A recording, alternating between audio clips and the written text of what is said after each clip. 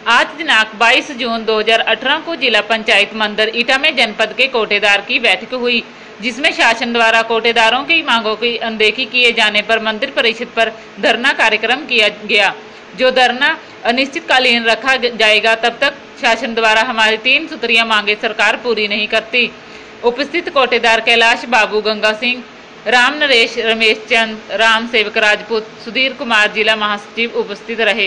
आप देख सकते हैं प्राइम ब्रेकिंग न्यूज़ चैनल के लिए मनोहर लाल जी की रिपोर्ट ईटा से। ठीक है ना? और जल्द से जल्द पूरी की जाए। क्योंकि आज तक कोटेदार को जो है कोटेदार सन छप्पन से मतलब दुकानें कर रहा है। उसको आज तक दो पैसे का कहीं कोई किसी सरकार ने जो है लाभ नहीं दिया और उसको चोर की नज़र से और देखते हैं लोग फूलचंद लोधी मंडल प्रभारी आदर्श कोटेदार राष्ट्रीय खाद्य सुरक्षा अधिनियम 2013 के अंतर्गत।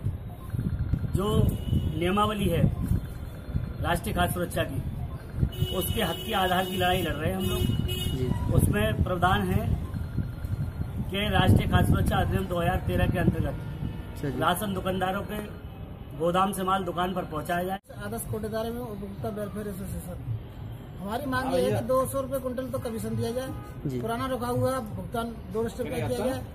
बाकी ये जो बाकी समस्या है वो सब निपटाई जाए। सभी राशन डीलर शुरू जब से राशन व्यवस्था लागू हुई है तभी से हम सभी लोग अपने खाद्यान्न उठा रहे हैं। और सरकार हमारे लिए एक भिखारी के तरह सरकार ने हमको बना दिया है। मात्र सत्तर रुपये में जो हमको सरकार कमीशन देती है तो उस कमीशन मात्र फलेदारी में चली जाती है।